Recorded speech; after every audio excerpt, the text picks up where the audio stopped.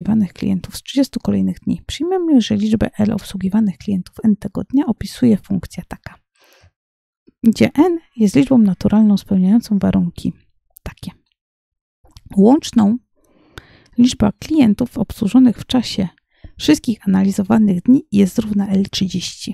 To zdanie jest fałszywe.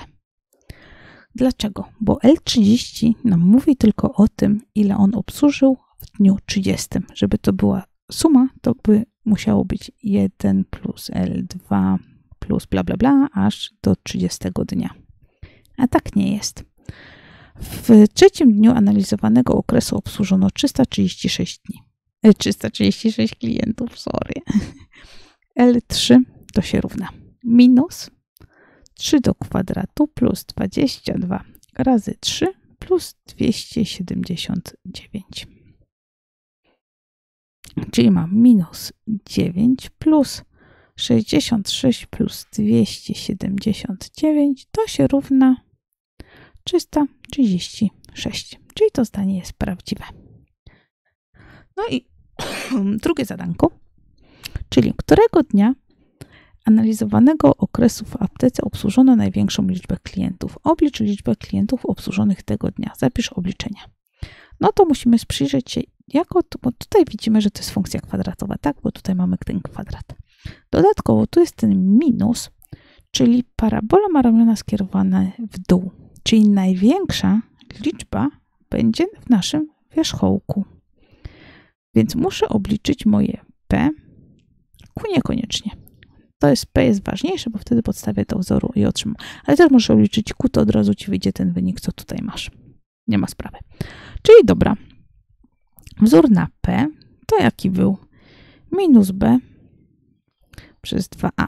W naszej funkcji nasze a wynosi minus 1, nasze b równa się 22. Czyli co mamy? b równa się minus b, czyli aj, minus kreska łamkowa na górze 22, na dole 2 razy minus 1, czyli mam minus minus 11, to się równa 11. I co to znaczy? To znaczy, że w tym 11 dniu obsłużył najwięcej klientów. I tak jak powiedziałam, możesz obliczyć Q, możesz skorzystać z tego wzoru minus delta przez 4a lub możesz policzyć to w taki sposób, że L od 11. W tym wypadku jest dużo łatwiej, bo tu trzeba liczyć deltę, a komu by się chciało? Czyli minus 11 do drugiej plus 22 razy 11 plus 279. To się równa, to się równa.